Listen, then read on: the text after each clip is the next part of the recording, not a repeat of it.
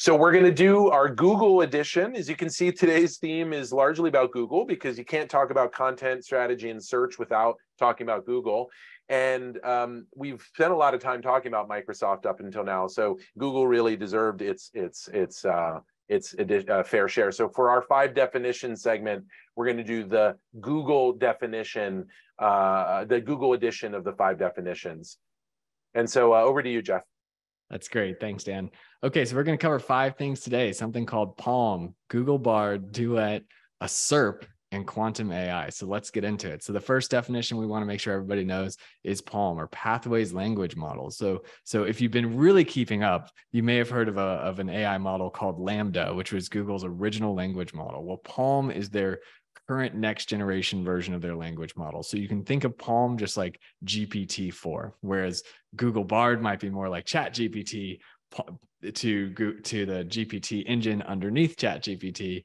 PaLM is essentially Google's new language model. They are using this across all of their products. You're seeing it integrated now in Bard instead of their old LaMDA model and in Duet as well. What they really did with this model is they tried to build it in a way that there's a core model that understands language and that they could train what they call nodes and pods onto the edges of the model to give it very specific use cases like how to code or how to interpret language between um, different human languages like Chinese to English, et cetera, translation tasks.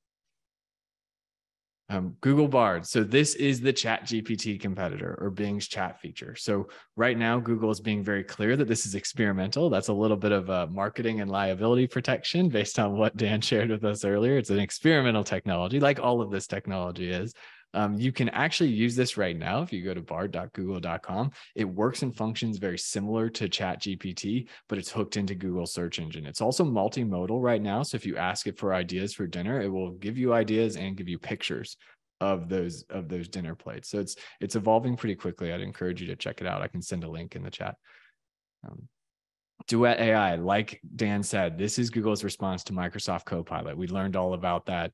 I believe it was last week in our lectures, and it's really an AI assistant for Google's cloud products. Their initial rollout has been focused on some of the more developer heavy things like coding or chatbot development. But like Dan said, this is the platform that will be rolling out to things like Google Docs or even Gmail to help you incorporate AI into your workflow. And I think this is really important to me because when I think about it, you know, I'm an engineer and I love to nerd out on this stuff and I like to code and I have local versions of, of AI models on my machine. But to the average business owner, that's not an investment you can or probably should be making. So I think if I'm in a position, when I put my CEO hat at Saltbox, we are really closely watching things like Copilot and Duet because that's the most accessible way that instead of building a full AI model, I know that I will be able to use these tools in my existing workflows. Duet and Copilot will change your life full stop. You, you just, you will not even be able to remember your life without it.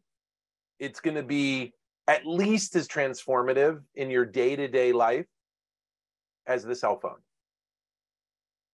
Absolutely. And it's coming this year. I heard a I heard a really interesting anecdote of somebody sort of predicting that we'll all be using AI to write emails to each other. And we'll start with just three bullets, and the AI will write this really long email. And then on the other end, we'll use AI to summarize that really long email into three bullets. And we'll just be sending a bunch of noise at each other all the time. It'll be fun. Um, SERP, what's a SERP? So this is important in the context of SEO. SERP is a search engine results page. So when people talk about search engine optimization, their goal is to show up on the SERPs. And this is also important to be aware of because as we're seeing things like Bard or GPT-4 roll out, the anatomy of a search engine results pages is likely going to change fairly drastically over the next five years. We'll take a look at some examples of this when we go over some 101 stuff for SEO.